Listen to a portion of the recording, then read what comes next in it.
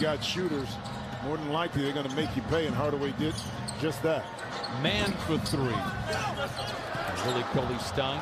And they are just dominating the glass, 25 to 11. Denny Smith fakes the three, drives down the baseline, whistle, and a foul stops the clock. 7-11 to play in the second. And here is Kennard. Mann swooping in. There you go. And in for Terance Mann, 88 to 49. Mavericks out in front.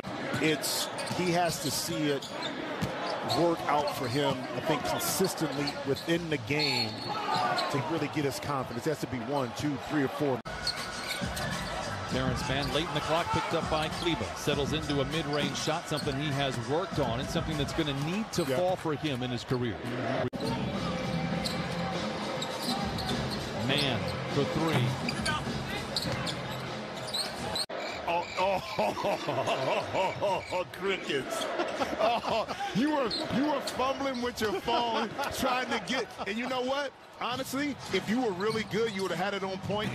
And Obviously, we wouldn't talk about today's game, fellas, but the last two games, it's a small sample size. We said, listen, ring night for the Lakers, and then you go on the road in Denver. Those are not easy places to play. Drive, but can't lay it in. But I like the move from Kennard.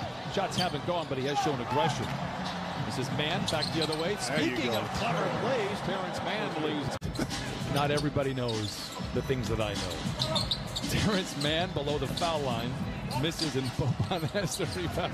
I'm a fan of his overall skill in the NBA. I think he brings a lot to a locker room. Green for three, absorbs contact, no whistle. Terance Mann has the rebound. Mann surrounded by green jerseys.